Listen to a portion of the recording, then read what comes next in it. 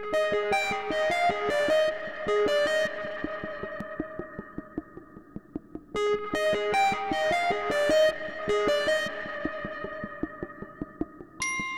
morning, everyone. Um, my name is Janos, and uh, today I will talk about uh, how we did, uh, how we created an adaptive platform at Intern Avenue. Um, who am I? Um, um, I'm, uh, uh, I, I have a long relationship with uh, uh, software engineering. I started when I was 11 uh, on a Commodore Plus 4. And uh, after the Commodore Basic, I, I moved to assembly and I, I kept as close as possible to the hardware for, for a long, long time. And then I moved to the web um, uh, services uh, when I was at uni, and, since, then, uh, since then uh, I'm still um, at, uh, at the web uh, um, world. I started a consultancy uh, firm uh, 10 years back, and uh, uh, after 10 years, I, I moved to um, um, a consultancy firm called Capgemini, and uh, it's one of the largest consultancy firms uh, on the world. I work on projects like Royal Mail, Post Office, uh, Parcelforce.com, uh, Bristol City Council uh, as a software engineer lead, and uh, five years, uh, five uh, months uh, ago, I joined a startup called Intern Avenue, which is a platform for employers to find fresh talents for their businesses in an automated fashion. We try to capture as many data as possible about the candidates, and we use a matching algorithm, or actually not one, but many, to, to match uh, internships uh, uh, against the candidates. So we try to minimize the time uh, uh, for the recruitment. And to do this, every startup normally starts with, a, with an MVP or starts with a great business idea, and uh, then they uh, move uh, uh, or, or they exploit their business uh, uh, business ideas, and they reach a point when they need to scale, and this is when I arrived to the project, and and uh, from a monolithic architecture we we moved to, to something uh, service oriented or actually microservice oriented uh, architecture. Okay, so I mentioned, and the title of this talk is uh, uh, How to Create an Adaptive Architecture uh, um, with ZeroMQ. And uh, for first, uh, we should clarify what is an adaptive architecture. And according to the Wikipedia, adaptive architecture is a system which changes its structure, behavior, resource according to the demand.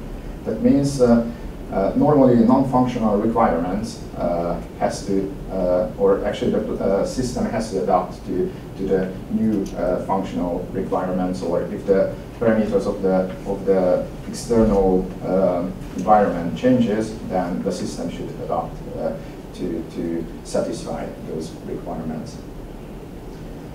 And uh, as I said, uh, most of the, almost every software starts in small as, a, as a monolithic um, platform or architecture. And some examples, I guess you uh, recognize where this uh, photo was taken. It's, it's the Stonehenge, and uh, one of the one of the one of the key uh, thing with Stonehenge is uh, we. It, it seems like a, a successful project, but uh, but uh, no one knows anymore what was the original purpose. It's an old project. Uh, uh, we can consider it successful because uh, nobody really complained in the last thousand years uh, uh, about uh, its functionality. But the original um, engineers left the project. There's no documentation. There's no no tests to understand how the internals of the system work really.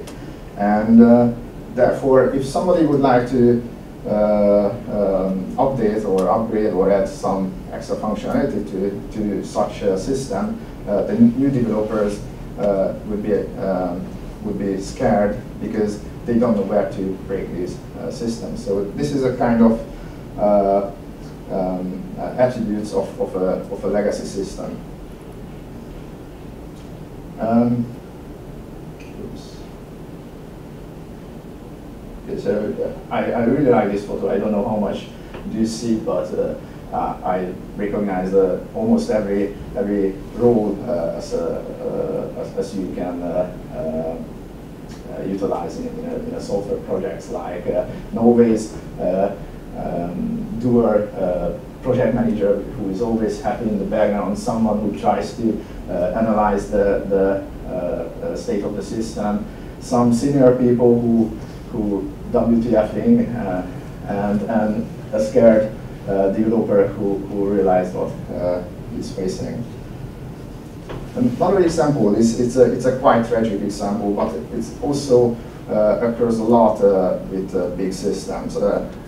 this is the biggest battle cruiser what Britain ever made.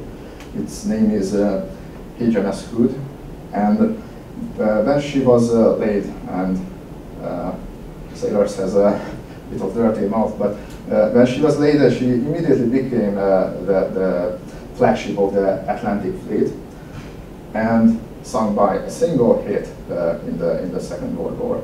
So it, it was quite, uh, fortunately you can't see it, but uh, um, one of the part uh, of the ship had just one single hit and, and she was sunk in three minutes.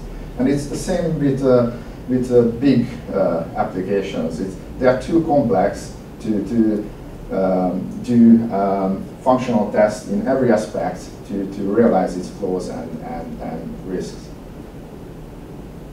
Another one. Uh, this is a call graph of a, of a popular uh, um, open source project uh, written in Java.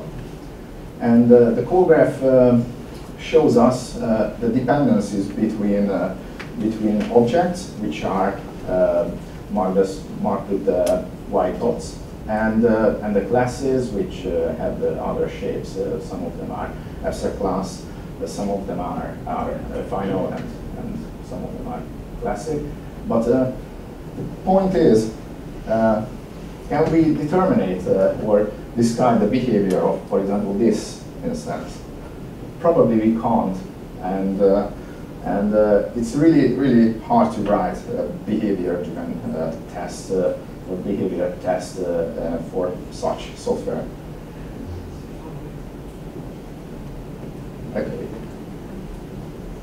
Another, maybe a good example uh, for monolithic architecture is the Linux kernel.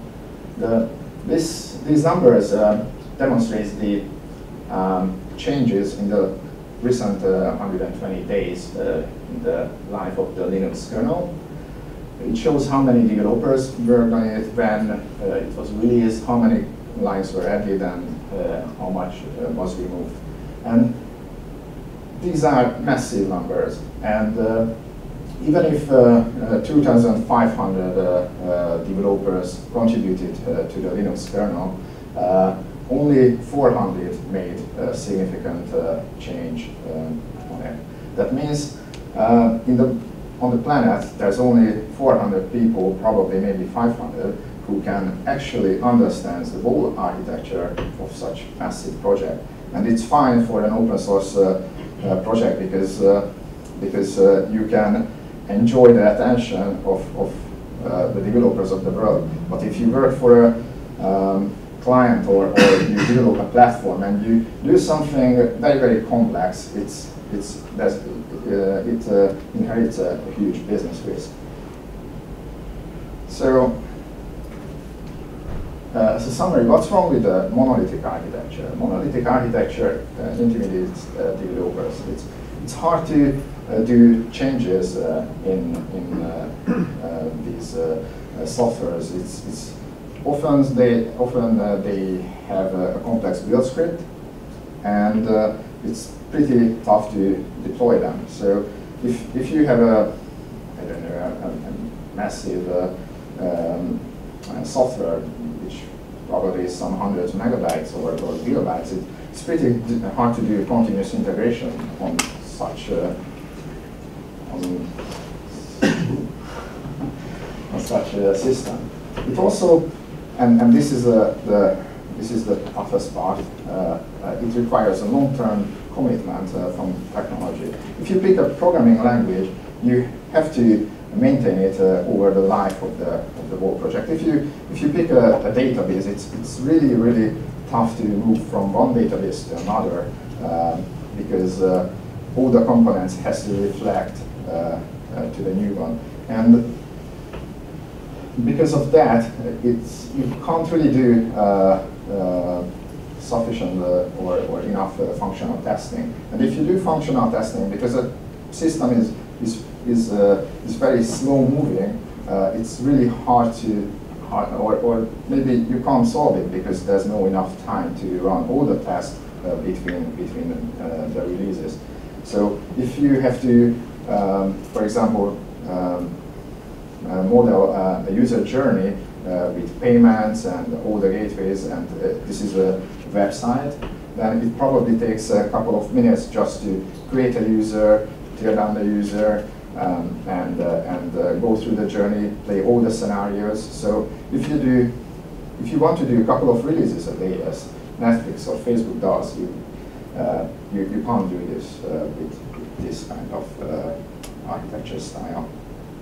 And because these uh, applications uh, are massive, if, if you deal with Scala or Java, if you uh, occasionally uh, some some services need uh, a minute or half a minute uh, to restart, and it's it's really tough to to orchestrate services or do load balancing because if you have hundreds of servers, you, you just to go through uh, all the restarts uh, after the successful deployment is, is just takes too, uh, too much time.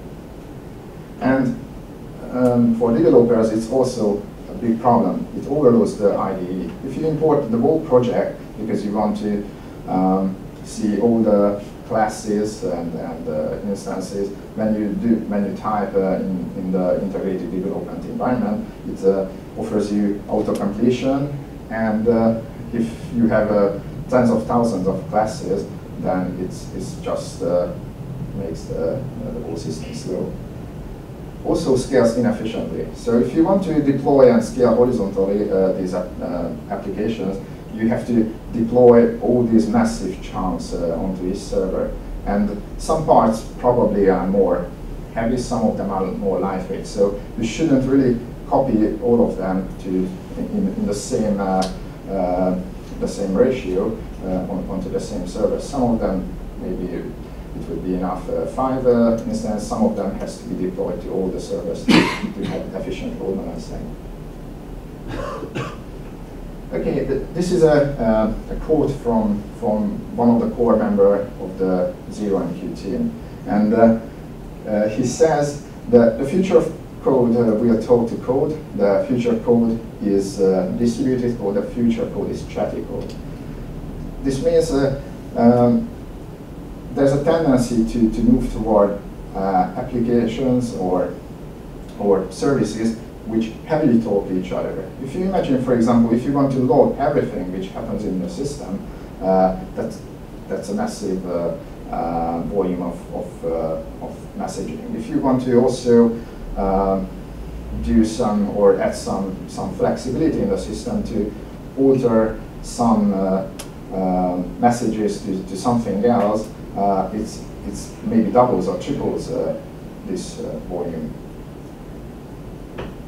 And uh, then we reach to, to the microservice.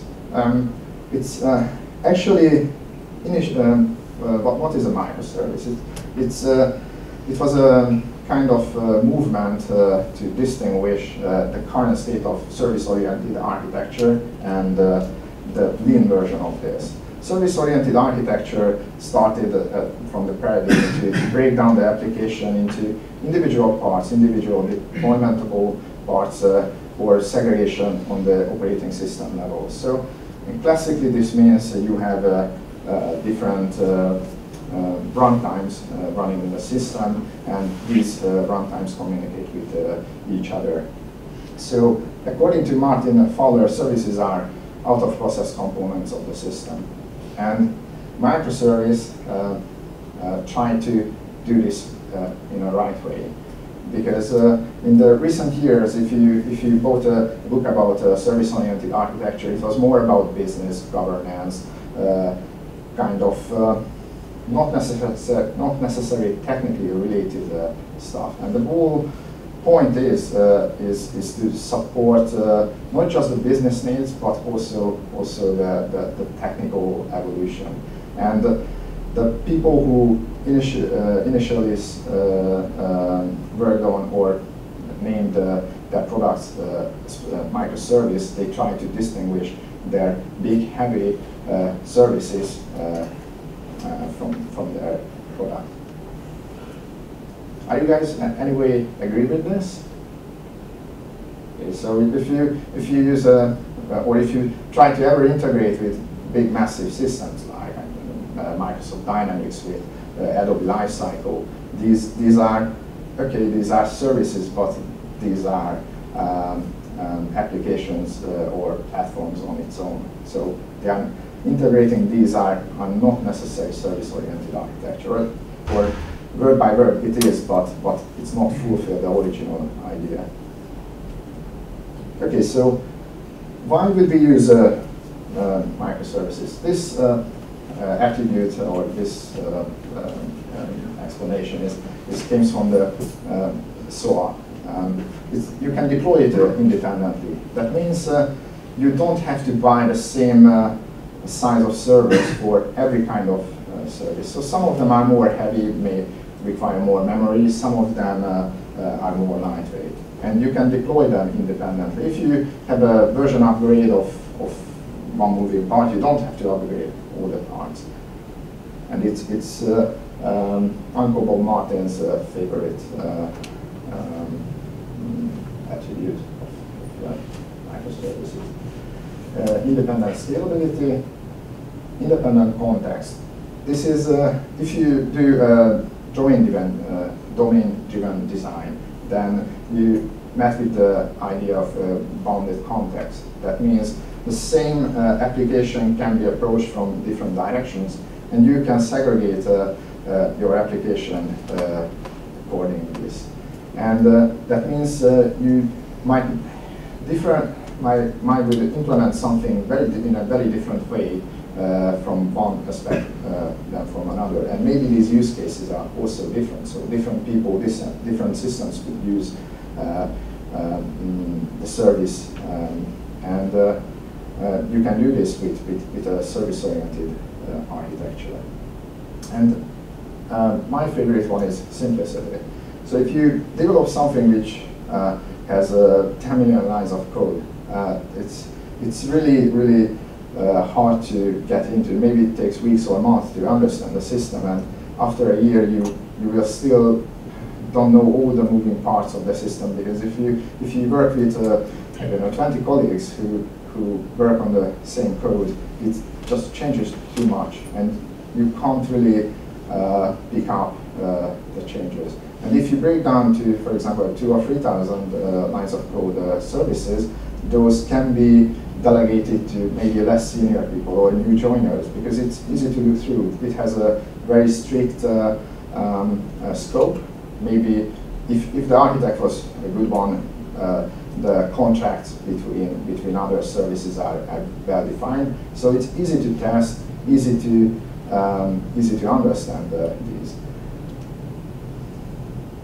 And uh, faster build time. If you do continuous integration, uh, it's, it's, a, it's a key uh, thing. Uh, if, you, if you compile a, a, massive Scala application, it might take an hour or two uh, just to compile it. It's simply unachievable to do real continuous integration when somebody commits a new change and uh, uh, build script triggered and uh, it, it's provisioned to, to everyone. It's just simply can't happen with, with, with too big application.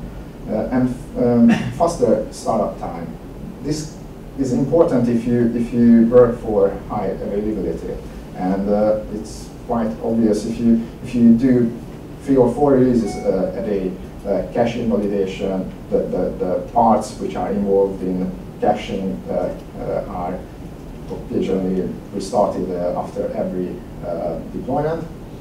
Um, and sorry, and it's just you, you can't do this with with big applications. So the good parts, shorter development time because it's easy to look through the uh, individual uh, um, um, parts, higher, higher accuracy. So if you work in, um, in, a, in an agile uh, um, project and, uh, or in a startup where you have very, very limited uh, budget, then it's really key to get uh, or, or exploit or uh, or, or get feedback uh, from your idea. So this, uh, this because it's simpler, you can deploy it faster, you can scale better, you can get feedback um, earlier from the users. And this means higher business accuracy because you can change faster better availability because you can uh, scale parts um, uh, uh, against better strategies, low latency. This can be a, contradict because we could expect, okay, uh, if we use services, then uh, the network is involved or the net speed of the network is involved in the communication. But if you break down uh, into concurrent parts uh, application, you can trigger uh, individual processes differently and in an asynchronous way at a point you can synchronize all these events and maybe you will, or not maybe, in most of the cases you, you end up in a, in a faster application. Any questions? No? Okay. Reusability. Um, this means if it, it's, it's actually the same uh, principle of using shared, shared libraries. If you, for example, pick a one service like uh, sending a, a, a, mail sender service, which I don't know has plugins for Mandrill, SendGrid, or whatever service do you use. Uh, it's easy to, to use this service uh, uh, for other applications. And if you have hundreds of microservices, it's probably, or high, the chance uh, to reuse these parts are way higher than, um, than uh, if you would have a, a monolithic application. But there are some um, tricks uh, with microservices. You have to change uh, the way you're thinking because you can't really solve uh, the new problems with the same thinking as you created it. You have to design good contracts. You can't really, okay, uh, on the fly, I, I, I will send some messages, I will, uh, we will you know, we will update uh, the API as we evolve. This, uh, this most of the time uh, results uh, bad or, or slowed down development because, um, as I said, there's high chance to reuse uh, uh, the component. Then if you, if you change something, maybe other components are involved. So it's it makes a, a tightly coupled system. So you have to design your contracts uh, well, uh, or you have to do it uh, better than than uh, than you would probably normally do. Also, you can't let the integration uh, to the end because these systems uh, are the, the, whole point of having this system to end up with simply a faster and, and more maintainable system. That means um, you you, you would probably design your contracts against another service. So if you don't really know uh, what you will uh, uh, integrate uh, uh, your service, then you don't do any better than the old style. Your team have to support it. This is usually the trickier part because it requires some kind of paradigm shift within the team. And if you heard about uh, Conway's law. That means uh, your architecture probably, or there's a there's a almost 100% chance to, to reflect to the organize, uh, organizational change. So to create a snappy, fast, uh, easy to maintain, agile uh, application. Your team has to be agile uh, and, and, and flexible and, and snappy as well. And here are the ugly parts, which, which are the drawbacks of having uh, uh, microservices. Because you have hundreds uh, of services, or let's say just 10, but you have uh, 50 servers, then that means you will end up uh, with a massive system of, of thousand services and you have to orchestrate uh, uh, this. And you can't do this without proper tooling. I mean, like monitoring, logging, and auto restarting tools. and, and also continuous integration is, is also a key because you can't really test uh, the, the, the, system at this scale uh, without that. And easy to overdo. If you, if you check the um, SOA anti-patterns or uh, microservice anti-patterns, most of them are, are uh, coming from to overdoing things. So for example, microservices is about to break down uh, your uh, system uh, according to, to boundaries, context boundaries, uh, um, um, to, to, smaller parts. But you can overdo it. You can say, okay, uh, back to the emailing uh, example. If you have plugins, you might say, okay, then I will have a SendGrid, Mandrill, or Amazon SES service, and you, you can do it endlessly. Then I will have a, I don't know, a, TCP the DNS uh, service and the UDP one, and, and it's, it's, it's, just too much. And uh, one uh, other anti-pattern is, is more about behavior because uh, microservices allow to, you to combine uh, other technologies. So maybe some task is the most efficient to integrate in Java, but maybe other other problems have I don't know a Lua script or or whatever or Python library. So why wouldn't you use that? if, if your developers uh, are, are uh, agree with that. Then uh, you can end up with using very unstable technologies or, or um, you can generate a siloed team where you use uh, all the languages of the world and, and uh, but only one developer uh, knows, for example, Ruby, another one Python, another one C, and you will end up with a, with a, with a very fragile team and, and structure. And also, you have to design uh, partitioning strategies. So the key problem is uh, not necessarily the context, but who owns the data. So if you, uh, if you do, uh, or if you denormalize your database, or if you have to implement uh, around the context the same, same entity, then you have to be very, very careful. For example, a, customer uh, entity or aggregator, uh, which service will own it? The, the sales service, for example, or the e-commerce service. So it's it's it's it's uh, it's, uh, it's a tough uh, problem. The, usually, the uh, you could end up implementing the same entity in both systems because you want to be um, you want to avoid the dependency on each other. So these partitioning strategies can be based on functionality, bounded context, data model, uh, uh, and uh, the most popular one is the bounded uh, context.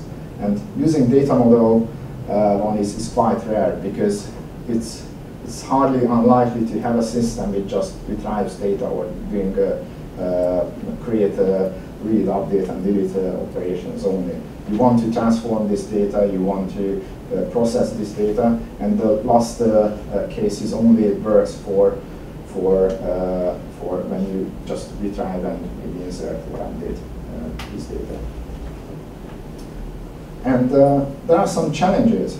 Um, you have to solve the eventual consistency problem. So if you have many services, there are always uh, uh, they, are, they are not in sync. So maybe not all the service or all the database or all the uh, data stores uh, have the same uh, state uh, in, in every time. So you have to think about what will happen if, for example, there's a split in your network and or, or between your data centers. And as I said, uh, it's also a problem how to segregate this data, how to deal with slow transactions. So you can't, you don't want to starve uh, one of your components in the system uh, um, just because something happens. So you have to fail fast.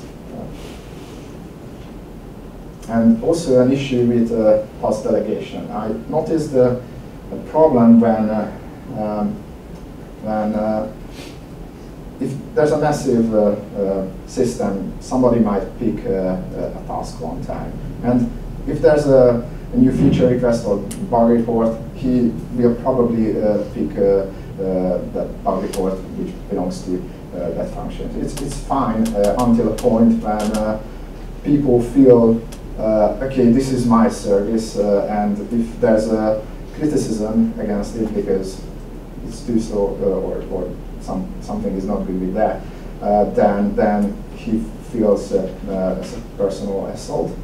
So uh, you as a team leader should consider to rotate uh, the team according um, between, between these components. And so now we uh, know what microservices is. And uh, we probably created uh, in the system uh, a couple of them. But, but uh, if you have eventual consistency, if you have, or you can't trust the network you deploy this application because there's no such SLA in your contract, then you have to be crafty. Um, and one solution could be if you use a, um, sessions in your load balancer. So if you let's say if you have, uh, for example, one request and you have, for example, 50 uh, nodes in your system, then you want to route uh, the new request from the same client uh, to, the, to the same nodes. It's probably not efficient uh, um, um, load balancing, but you can avoid inconsistencies. Another one is uh, um, people often often likes the, the, state machines. Uh, but if you have uh, just eventual consistency, uh, you, can't have state machines because your system as a global uh, don't have the same state uh, uh, in, in, in, every node. Or if you have a, the replica of five of the same service, they might not in sync. So you can't rely on that. you you would um, um, you would get the same data back. So if it's, it's the same classic problem with the master-slave replication in, in SQL databases. So if you want to say that, okay, the, the write operation uh, will always go to the master and the read maybe from the master, from the slave, uh, if there's a split between the two, uh, you, you probably uh, break your, your, uh, your application. And one solution could be event sourcing. So you don't persist uh, the state of your entities, but the events which transform these entities. So that means uh, you can replay these uh, over time. It's the same concept what uh, what uh, SQL or, or, traditional database is using when they do uh, replication. So you persist or store the, the events until a given point, and then you can replay it. And the benefit of this, you can reroute these events. So if there's an event like the user updated uh, the profile, you probably uh, use a publisher subscriber architecture and uh, this event uh, uh, goes from the publisher to the subscribers and this is what you need to persist, not, not the state, uh, what data was actually stored in the database. But you can also overdo this. If you don't take snapshots, you might end up with just a massive log, and if, if um, your uh, nodes are out of sync, then it, it will just take a, a long, long time to, to replay all these events. Does this make sense? Okay. So we are getting there, how, how we use uh, ZeroMQ. And uh, now we have uh, services. Now we do know how to uh, deal with uh, events and changes in the system, but we need to somehow let these components communicate with each other.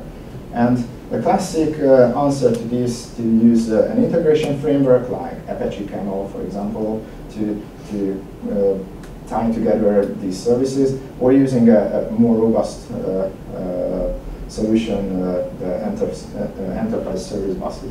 Both of them are bit over the top for this because we expand the very, very low latency. So for example, uh, Mule uh, uh, published a, not white paper, but a kind of advertisement of their solution. And th they are brilliant. So, so I, I do love uh, Mule. It's, it's not really against them. So if you check these numbers, uh, they have uh, 8,000 uh, transactions per second, uh, two second response time on system level, but uh, just uh, six sec uh, sorry six millisecond latency. These are awesome numbers. So these, these are quite good for for that 20 kilobyte SOAP message. But uh, you need a 24 CPU and 36 gigabytes of RAM uh, for this test. So the test case is um, published uh, or can be found on the website.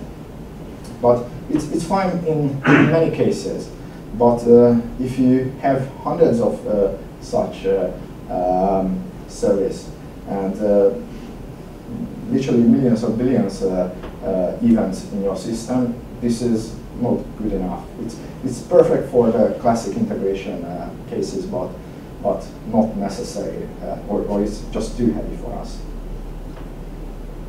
So if you have uh, loads of events, uh, I mean extreme rates, so if you have thousands of services, uh, I mean in, in, the whole system, uh, then, and if you do logging or you have many publishers, many subscribers, that's extreme rate of events.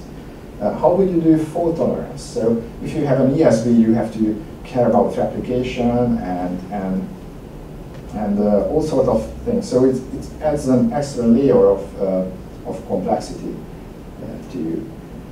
Um, one um, solution could be uh, NSQ.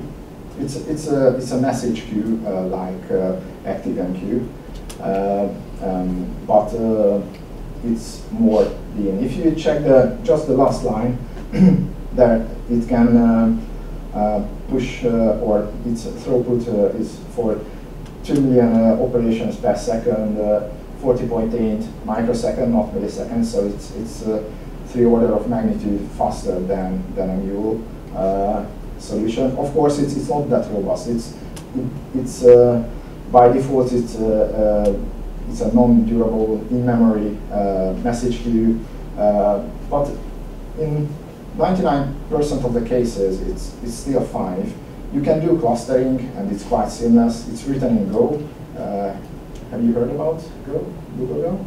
It's a, it's a relatively new programming language which tries to aim the uh, garbage collection and concurrency by default.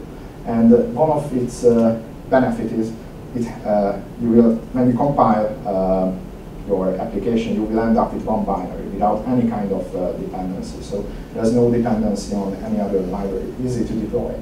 And uh, NSQ is written uh, in that uh, language. It's pretty fast. If you are unluck uh, unlucky, then you probably end up two or three times slower application as you would written it in C++. So it's pretty fast. It supports um, um, encryption, you can do streaming, which is uh, not uh, common uh, in, in the, the, message queues, and, and no brokering. So the whole architecture of NSQ is having, uh, uh, it's, it's actually consists of two applications, a lookup daemon and NSQ agents.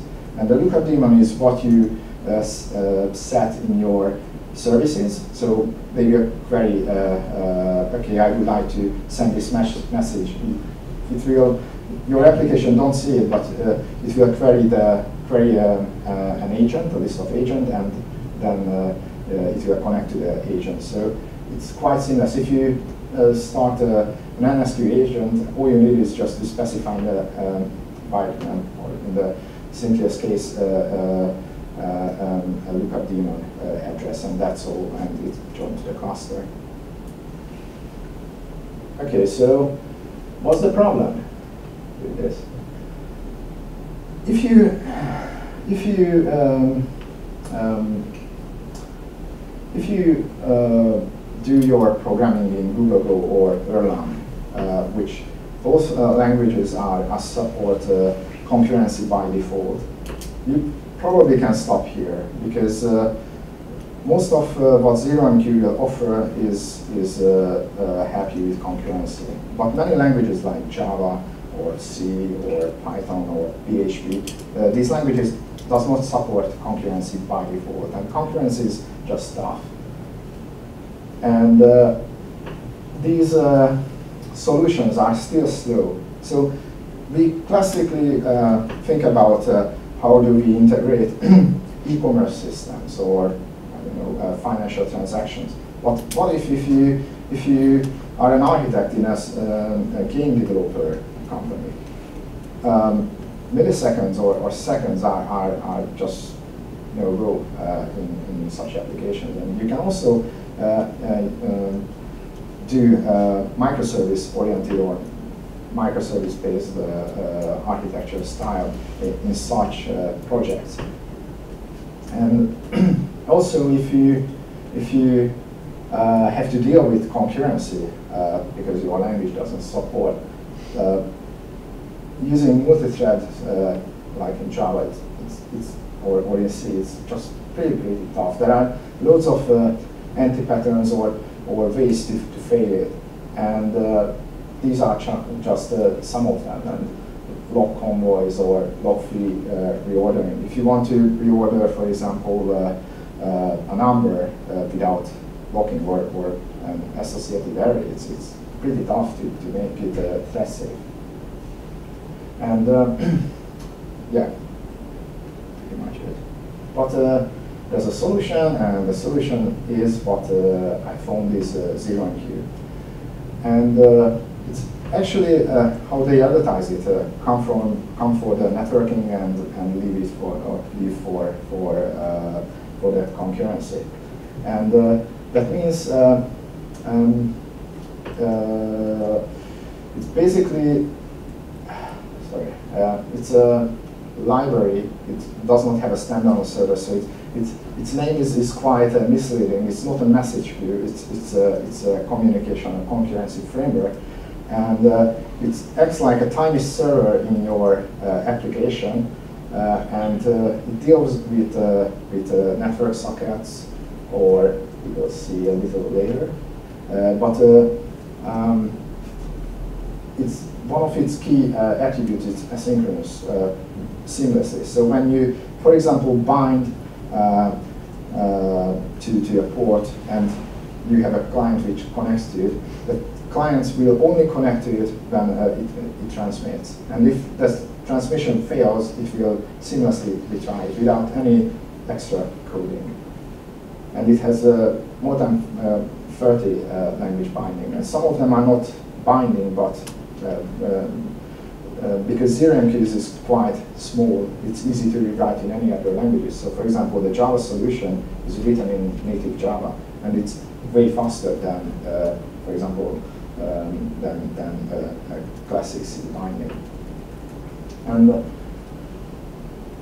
has uh, uh, two kind of components, main components. One is a context, and another one will be a socket. The socket will be uh, very different what you would expect uh, if you programmed in, in uh, Unix uh, uh, systems. So these are not domain sockets. They, they behave the same.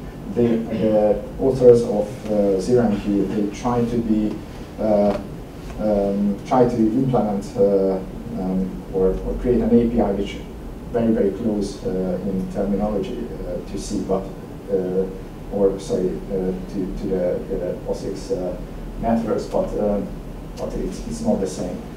So one is a context. Context is very, it's, it acts like a, acts like a container uh, for, for the socket. So when you, later we will see a code example, when you create a, a context, uh, it's, you usually have one context per, uh, per process. And you put all your uh, sockets into it.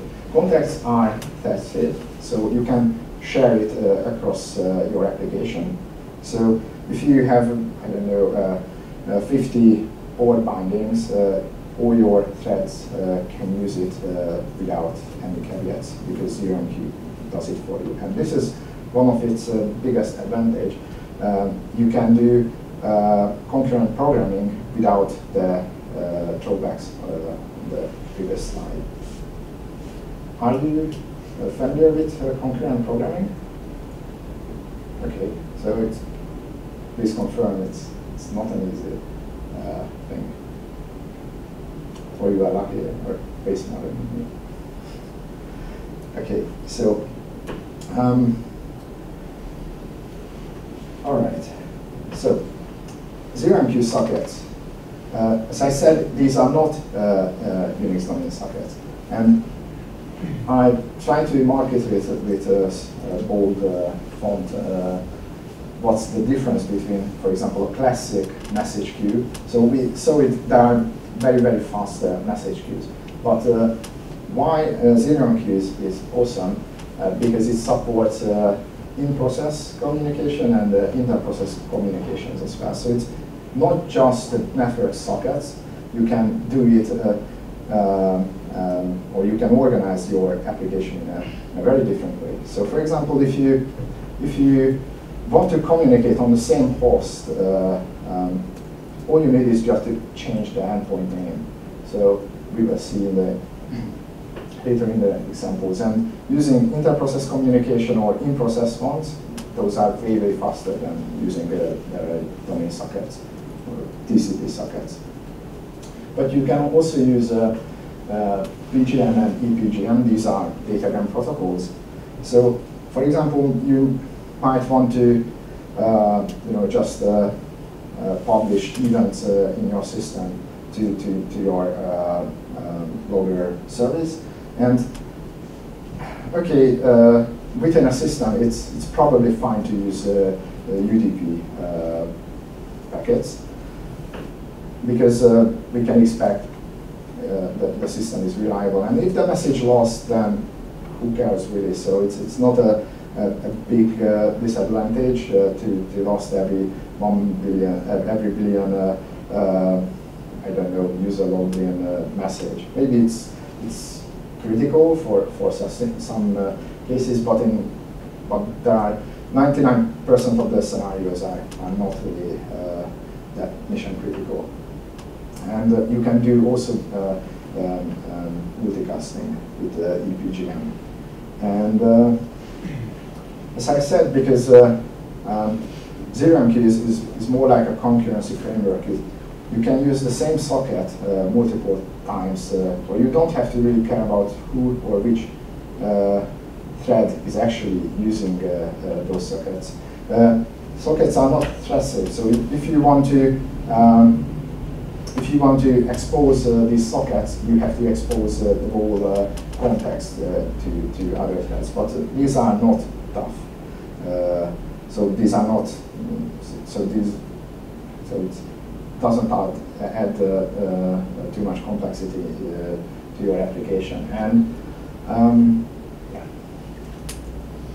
all the network connections happens in the background. So as I said, when you connect your service or when you transmit it, you don't or you don't really know whether uh, it was sent or when it was sent. So these are asynchronous communication. It, that's why your application will be uh, way faster.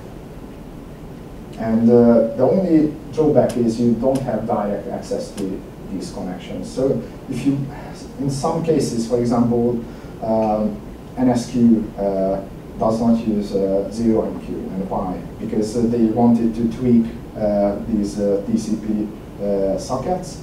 So this is what you can't do with ZeroMQ. So if you want to tweak the TCP headers or the IP headers in, in your communication, this, is, this won't happen with ZeroMQ. And here's a, a tiny example. It's written in PHP. And this uh, example contains a client, both a client and a server.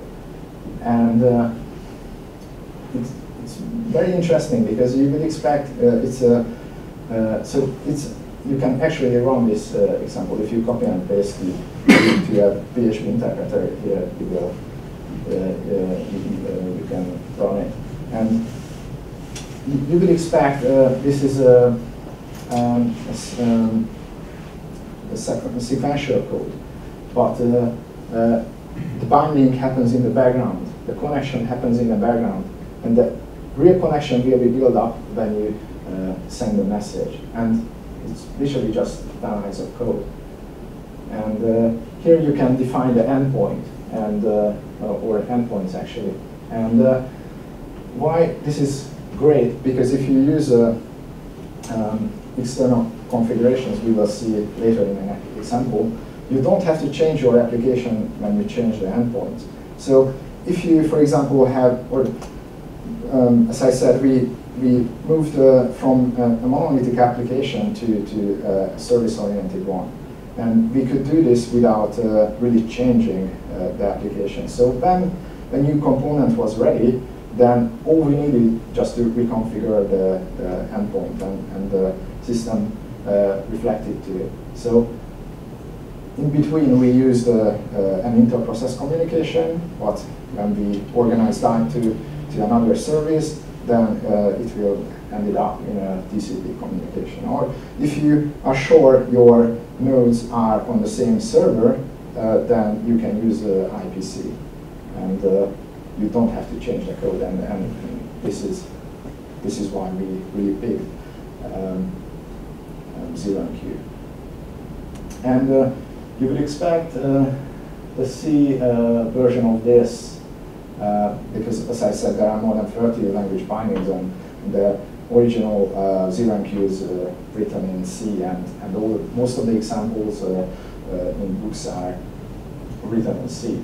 unfortunately, I can't scroll it, but please believe me, it's not more than 30 lines of code to to, to do the same uh, in C. All the so the, the functions are quite similar. Uh, all the differences are mostly the, the, the, the attributes of the C when you have when you want to do a memory copy uh, uh, or you have to do explicit allocation uh, of the variables. Uh, this is how you do this. sorry, any questions with the for the examples. These are very, very basic examples.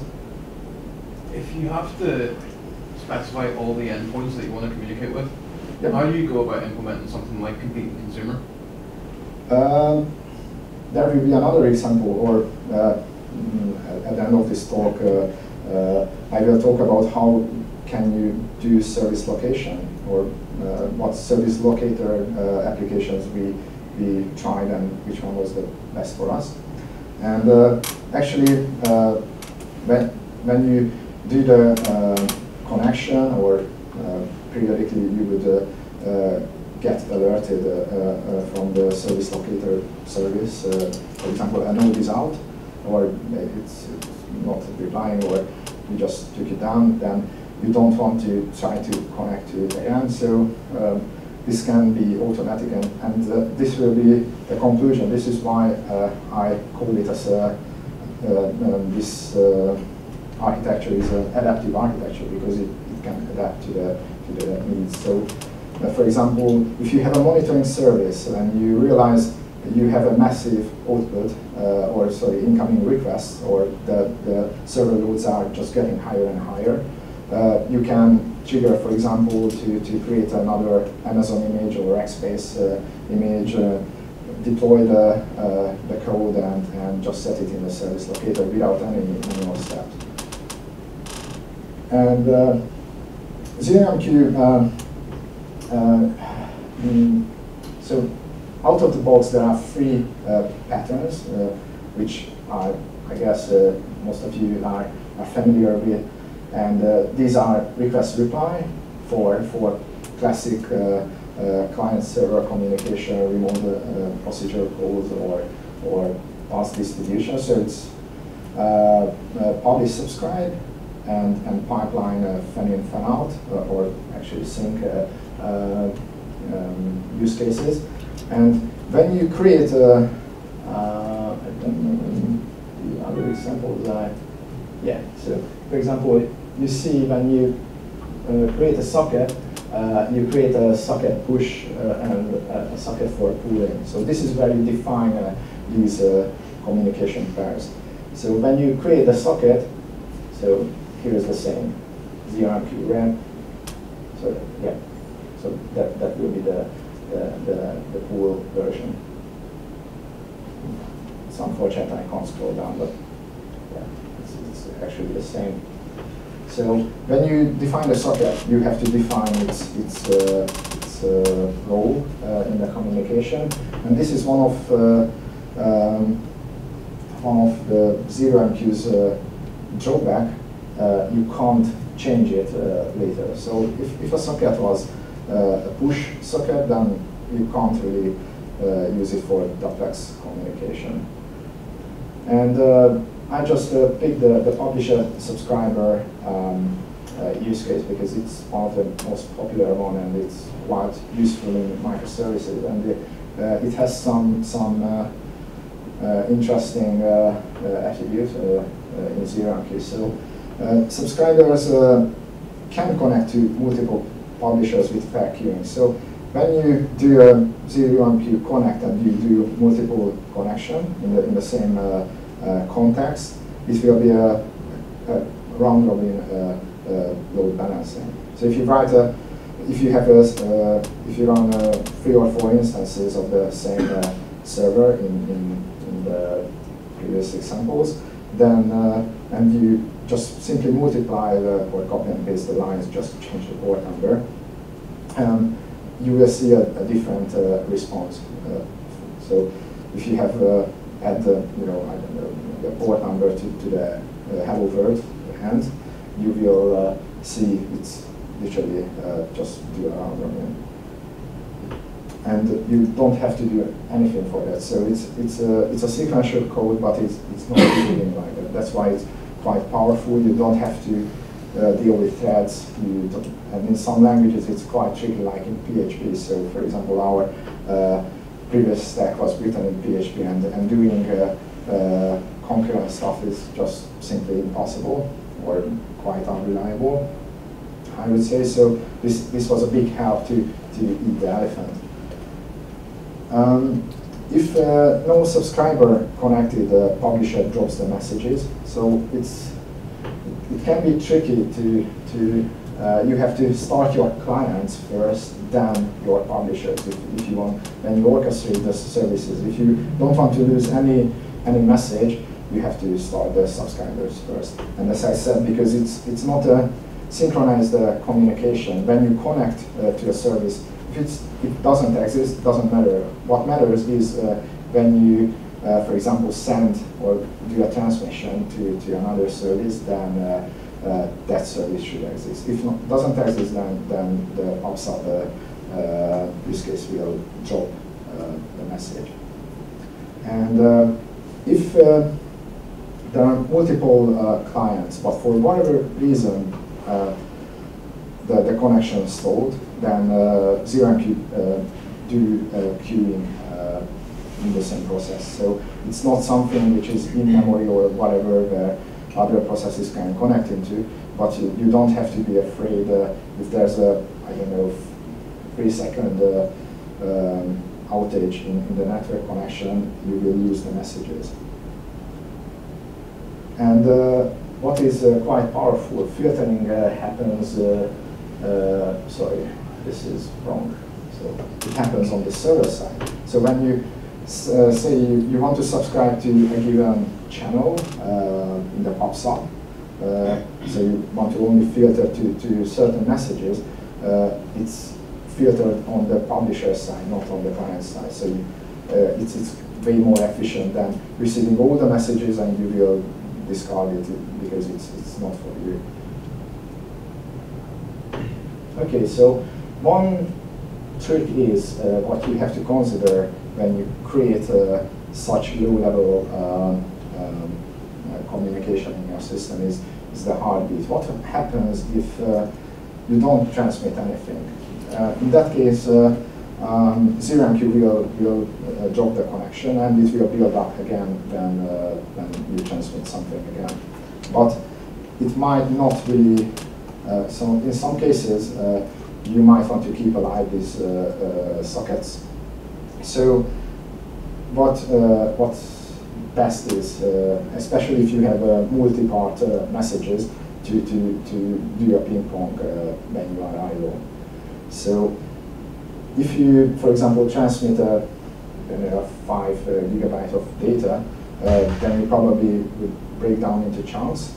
And if for whatever reason the, the uh, one of the side does not recognize a new uh, a new chunk, then it will send a ping and expects a pong. And if the, pong is, is not coming, then you, know this connection is stalled.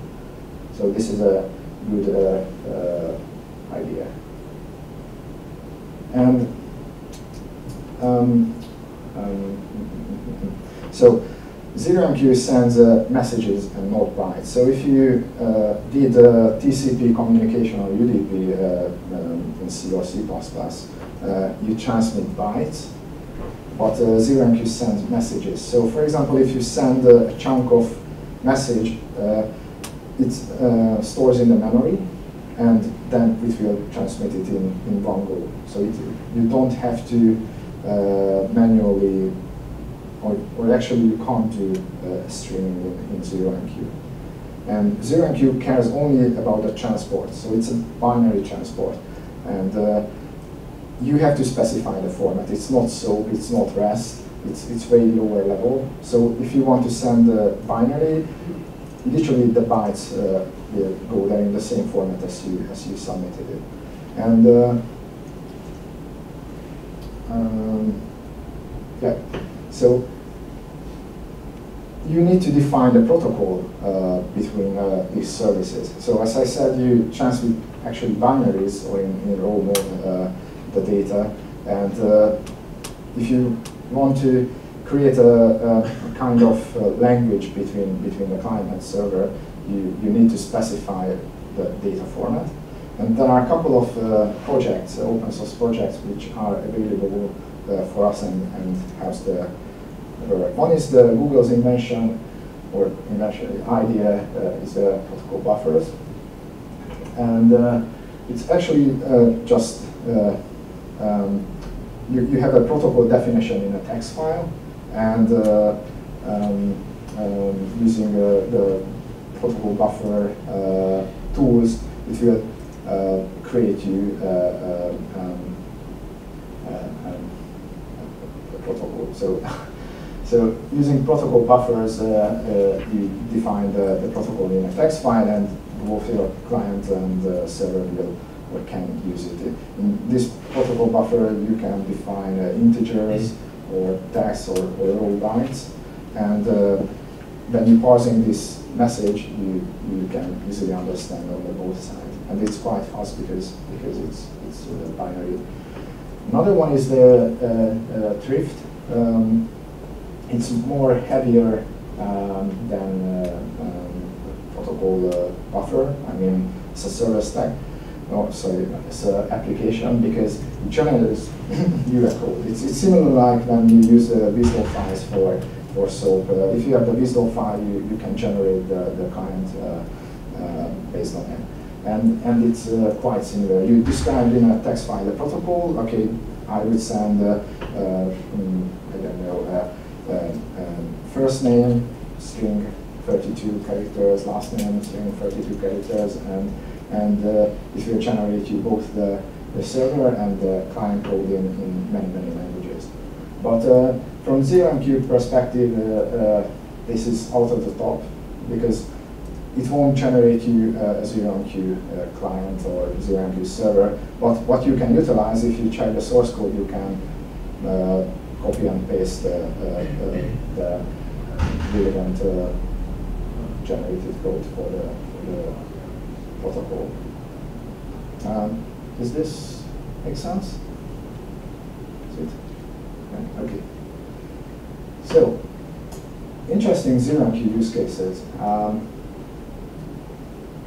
you can, uh, for example, uh, use two loggers now uh, to which can listen to ZeroMQ uh, and you can directly communicate uh, with these loggers uh, with, with ZeroMQ. So normally you would um, push it using the syslog um, commands or, or just push it into into uh, via TCP to, to uh, an rsyslog or syslog-ng servers, but uh, using ZeroMQ, it's, it's more easy to configure whether the logger server is on localhost or remote or whatever. Another one, which is uh, one of my favorite, is a Cucumber plugin. You can, uh, Cucumber is a behavior-driven testing, uh, behavior-driven design testing tools. So you can, in Gherkin language, you can you can write your test scenarios and and uh, run uh, Cucumber, and it will test uh, uh your application. Uh, and uh, you can write or you can test your your contracts or or or your protocols via this plugin. So you need to install this gem. It's written in Ruby, and it's it's, it's pretty pretty good because otherwise how, how would you it's, uh, in, in other languages it's or sorry in, in, in other use cases it's pretty tough to to, to uh, verify or do functional testing on binary protocols.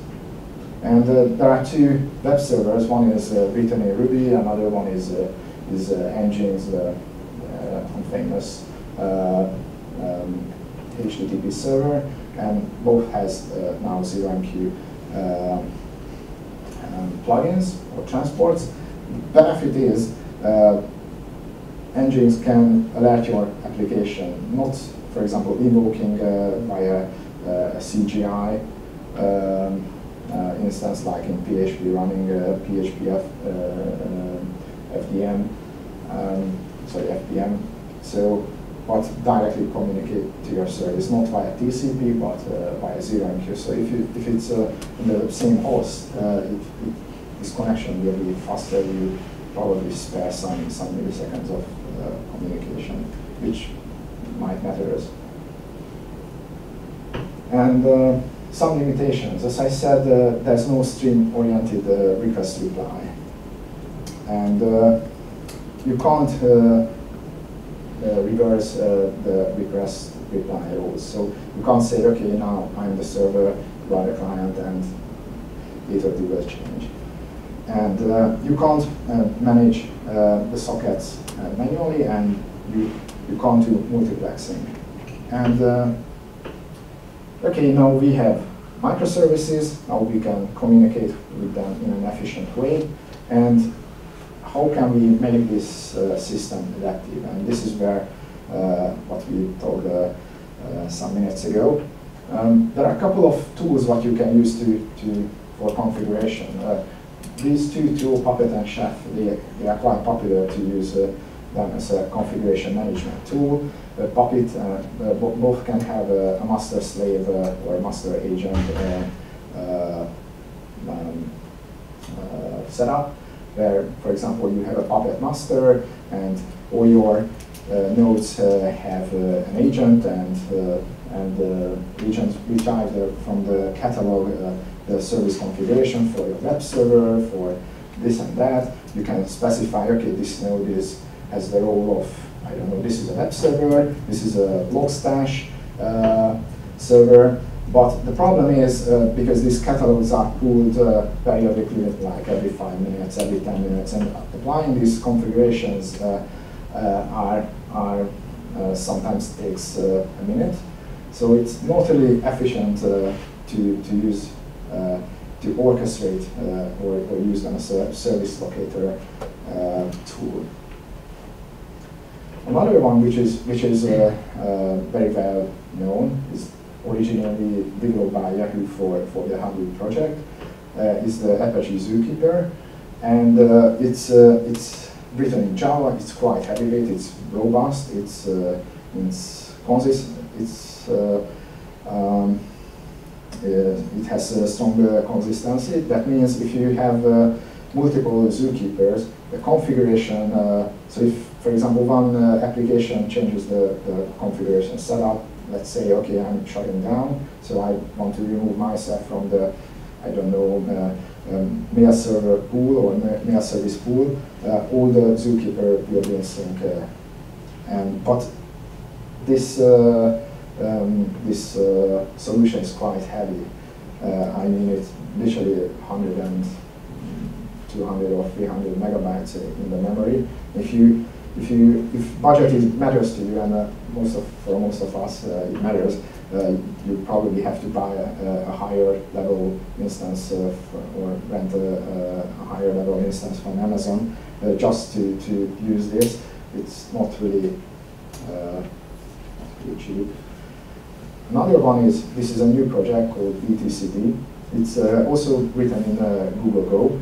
It has one binary, and it's using the Raft algorithm for consensus. So for example, when, when uh, you use a database service, they try to uh, they try to determine who's the master and uh, who uh, yeah who, who's the master in, in the communication and the, this called consensus or quorum. And uh, there are uh, popular algorithms for this. One is the Paxos, and it's it's values, but it's quite heavy and it takes time to, to uh, uh, to, to get this consensus from the the service. So if you, for example, use MongoDB, uh, it might take uh, half a second to determine who is the master now. If you have a if you have a cluster, this is uh, maybe not something you want. Uh, and Raft is a bit. Um, it, it's, a, it's a different approach. It's very simpler and it's easier to, to implement. the problem with Paxos, uh, almost every application has a different idea how it should be implemented. And uh, um, yeah, and it's uh, it's open source. Uh, it's written by the Vagrant uh, team. So if you use uh, if you do development, you're probably familiar with the solution called Vagrant. It's it helps you to have the same environment for everyone, and probably you will have the same setup in your laptop or in your uh, dev environment uh, as the server. Okay, another one is the code Consul. It's also open source, written in the same language, uses the same uh, Raft uh, consensus, consensus algorithms.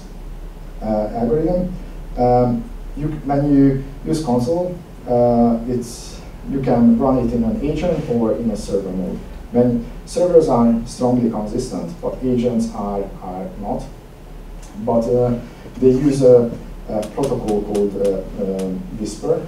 And uh, if you have hundreds of nodes, so if you have a massive scale, maybe global hundreds of servers, you can't really do strong consistency because, because it's just not really feasible. So um, then the, the gossip uh, protocol, uh, what it does is always uh, uh consistent with the, with the nearest uh, uh, neighborhoods. So if you are in the, on the same network, it will shout to all the agents something has changed, and they will spread this to the, to the other agents.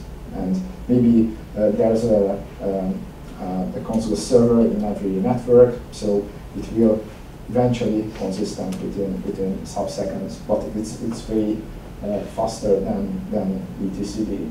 All these uh, setup or mm, what we use uh, these uh, to to expose uh, their settings in environments, environmental variables, so your application can query um, the changes or the actual state of the of the configuration, and it's it's not, these are not a replacement for Puppet and Chef. These are just for service location and, and orchestration.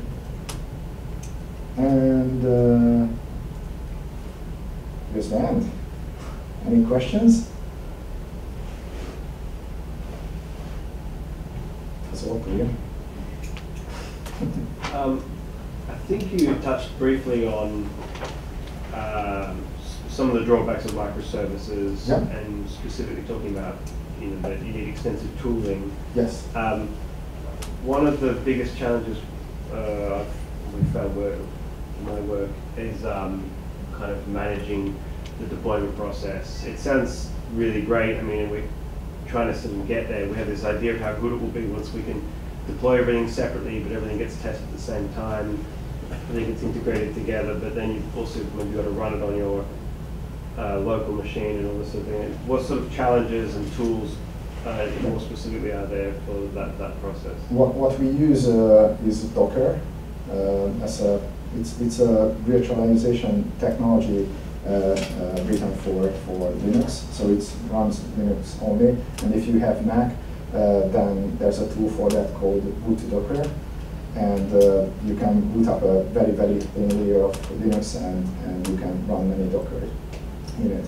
The the benefit of it's you you have you don't have to separate the memory or allocate CPUs to, to the virtualization. So all the process will see uh, all the CPUs and all the memory. So uh, it's not as strong. So if you if it's a concern for you, you, you can use Xen or, or other uh, VMware or whatever you prefer.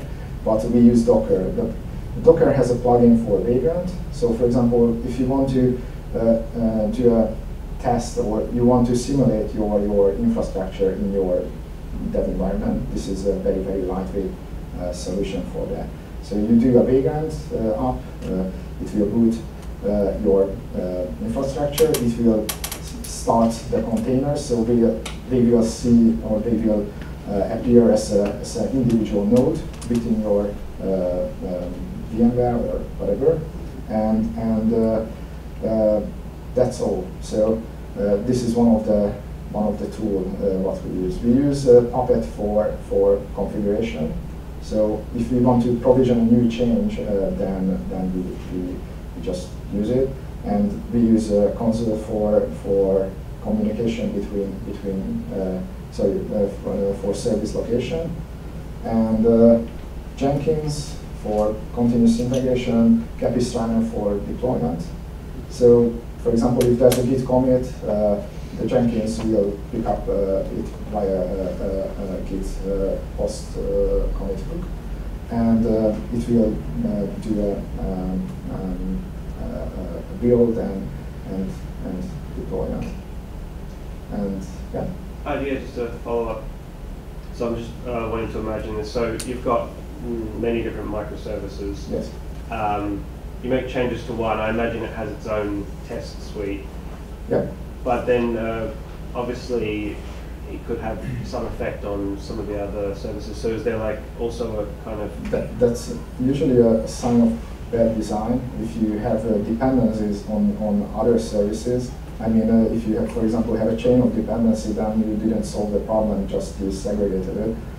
Well, I guess if you changed, if you were to change the API of the of the microservice and something else is One trick is to, to version your API. Mm-hmm. So uh, we, we do an API versioning, for example, on our REST uh, interfaces. So if, if or, or in ZeroMQ, if you want to add uh, something else, we try to be drawback uh, compatible as possible. But if if uh, if it's impossible, you can do it in service locator level. So you can say, okay, uh, the version 1 will be deployed on these ports and version 2 will be deployed to those ports. And if you uh, do a deployment of the client applications or the services, then all you need is just to know which version are you compatible with. Okay, so they're very much plug and like plug and play, pluggable into. Yeah, it's, it's not easy. It's, it's, it's the biggest biggest or the toughest part of the of the, of the microservices. How do you orchestrate this? And you know, if you have literally thousands of services, it's, it's, it's just something you can't do it manually, so you have to uh, automate it. Yeah, so and, and just to clarify then, I mean, I, am not uh, it is designed in such a way that you really do just have to test the microservices, and then there is, you don't need to test some sort of overarching application or the way no, they use and, and it's it's yeah it's it's quite good because for unit tests you you can. Uh, uh, test uh, the, the internals of, of, of, a, of a service. But from at the end of the day, what matters is uh, how the whole service operates. And if you want to do a PVT test, a performance and volume test on the whole global system, is, maybe it's uh, it's very expensive. Maybe you will run it a, a, day or two if you want to do a Christmas or uh, uh Black Friday test, uh, and it's pretty expensive and you, it requires a serious effort from, from the team to, to create a clone of your actual live environment. Uh, but uh, using a small functional test which tests actually the, the service uh, um, it's, it's also, also perfect if, if, if your contracts are well defined.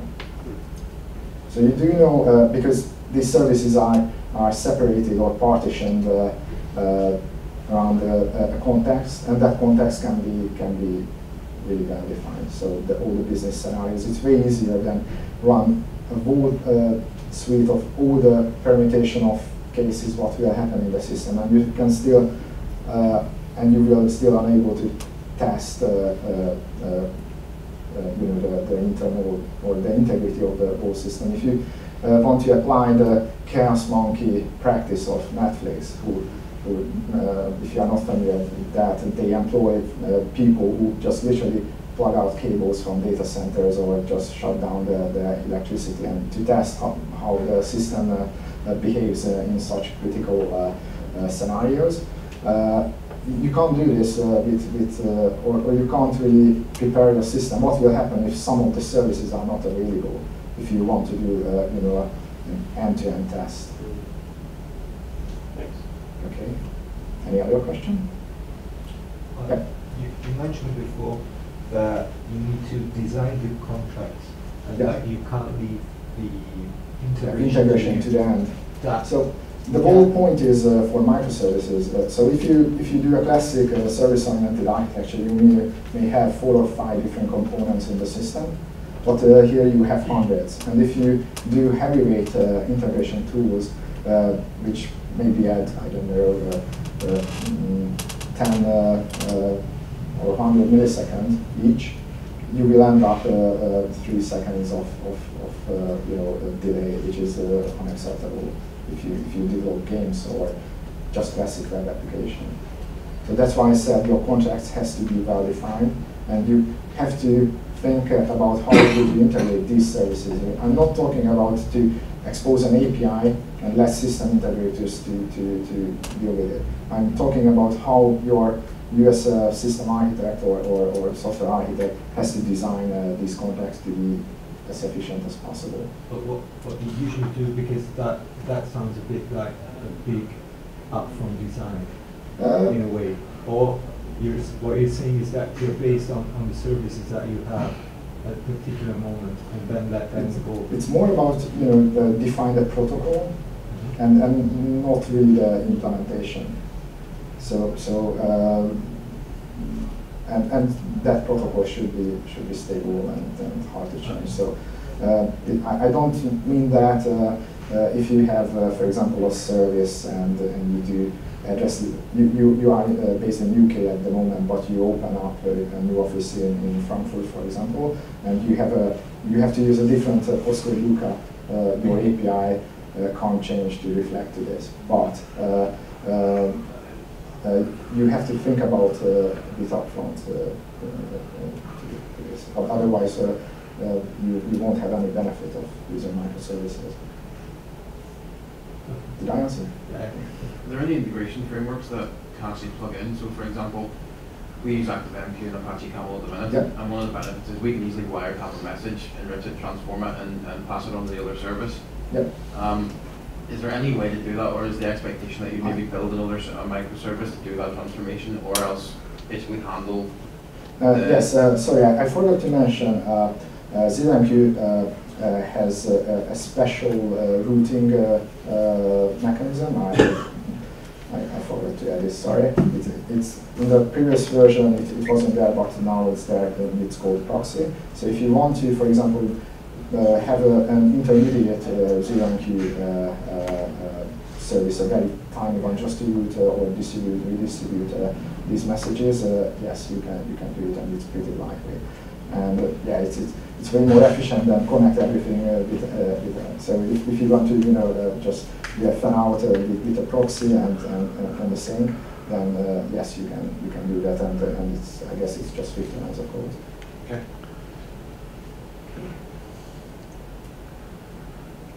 Okay, if there's no other question, then thank you very much.